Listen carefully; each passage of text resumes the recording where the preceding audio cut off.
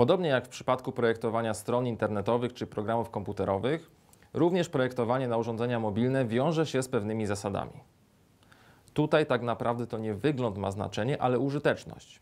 Od tego, czy program będzie łatwy w obsłudze i intuicyjny, zależy, czy będzie cieszył się powodzeniem i przede wszystkim, czy będzie chętnie wykorzystywany przez grupę docelową, w tym wypadku przez naszych pracowników czy współpracowników.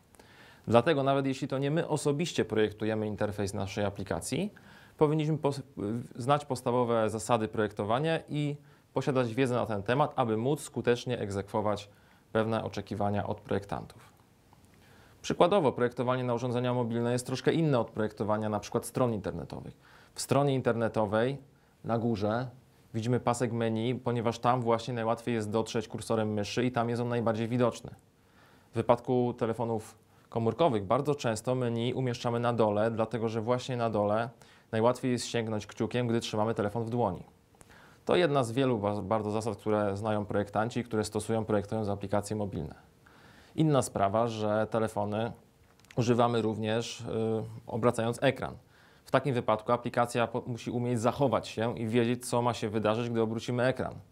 Elementy nie mogą na siebie zachodzić, nie mogą przestać działać pewne funkcjonalności. Oczywiście projektant, który projektuje taką aplikację, doskonale zna te zasady i to, co mówię, to są podstawy. Niemniej jednak my również powinniśmy podstawy znać, aby móc egzekwować projekt na odpowiednim poziomie i być świadomy, świadomi tego, że nie tylko design się liczy, ale również, a może przede wszystkim użyteczność. Aby dowiedzieć się więcej o tym procesie, zapraszam na stronę naszego projektu.